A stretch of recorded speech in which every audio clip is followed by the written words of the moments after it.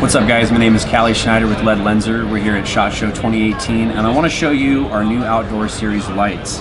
Um, the lights, we've got four flashlights, three headlamps, and um, I'm going to show you my favorites here. My favorite flashlight of the series is the MT10. It's a 1000 lumen light. It's going to run for 6 hours at 1000 lumens and 144 hours at 10 lumens. Uh, it's a rechargeable micro USB port on the back and it's got our patented LED Lenser technologies that we carry in all of our lights.